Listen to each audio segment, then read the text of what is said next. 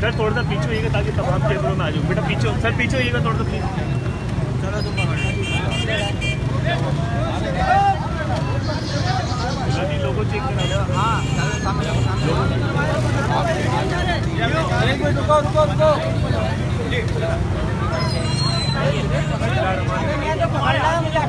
ایک منٹ رکو آج آپ نے دیکھا کہ بہت بڑی تعداد میں پورے شہر میں سب لوگوں میں ایک جذبہ موجود ہے اور جماعت اسلامی کی اس رابطے پاکستان دہلی میں بھی بہت بڑی تعداد میں نوجوان بچے سب آئے تھے اور یہ تعلق کا اظہار کر رہے تھے کہ ہم پاکستان کی پوری قوم اور افواج پاکستان ایک سلسلہ فی الحال بیمار ہیں اور بھارت کا مقابلہ کرنے کے لیے تیار ہیں اور ہم یہ سمجھتے ہیں کہ بھارت نے جارحیت کا انتخاب کیا ہے اور اس کی یہ جارحیت مسلسل ایک ریاستی دہشت گردی کی صورت میں کشمیر میں موجود ہے اور پلوامہ میں جو اٹیک ہوا، ہم یہ سمجھتے ہیں کہ وہ کشمیریوں کا جذبہ حریت ہے، وہ جہاد ہے اور دنیا کو جہاد اور دہشت گردی میں فرق کرنا چاہیے۔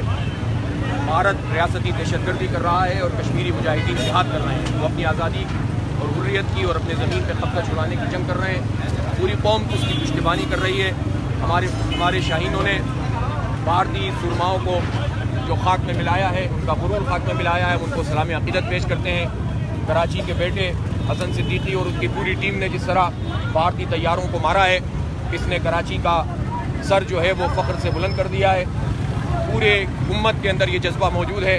بس حکمران اگر آصاب کا مظاہرہ کریں اور امریکہ کے کہنے پر بچھنے کی تیاری نہ کریں تو پوری قوم مل کر انشاءاللہ بھارت کو شکست فاش دے گی اور کشمیر بھی انشاءاللہ آزاد ہوگا۔ اس وقت دیکھیں حکومت کے حوالے سے میں یہ ضرور کہوں گا کہ اس وقت پارلیمنٹ کا مشترکہ اجلاس بھی ہو رہا ہے اور وزیر اعظم نے جتنے خطابات کیے ہیں قوم نے اس کو ویلکم کیا ہے۔ لیکن ہم یہ سمجھتے ہیں کہ میدانوں میں جو جنگ ہم جیت رہے ہیں وہ مذاکرات پہ یا ایوانوں میں ہم نہ ہاریں بلکہ آصاب کا مظاہرہ کریں۔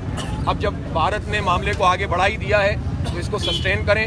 اور کشمیر کے حوالے سے یہ بات ہمیں سمجھ لینی چاہیے۔ اب بھارت یہ چاہے گا کہ فوری مذاکرات ہوں اور بات کو ٹال دیا جائے۔ یہ وہ موقع ہے جس پہ ہمیں ہمت کا مظاہرہ کرنا چاہیے۔ آدھا کشمیر بھی ہم نے جہاد کے ذریعے ہی حاصل کیا تھا۔ پورا کشمیر بھی ہم اسی طرح حاصل کر سکتے ہیں۔ اس کے لیے پوری قوم ایک ہے، اکٹھی ہے۔ ہم قربانیاں دینے کے لیے بھی تیار ہیں۔ جنگ بری چیز ہوتی ہے۔ لیکن اگر کوئی قوت جنگ پر مجبور کر دے تو دفاع کرنا ہمارا حق بھی ہے اور جہاد فی سبیل اللہ بھی ہے۔ اس لیے ہم سب جو ہے وہ اس کے لیے تیار بھی ہیں اور پوری قوم میں